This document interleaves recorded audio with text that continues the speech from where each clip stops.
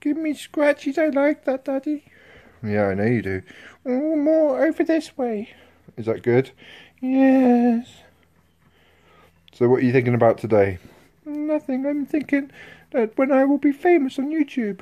You have to wait for a little bit for that, don't you? Do I? Why do I have to wait? You know how impatient I am. Look at look, look. What are you doing up there?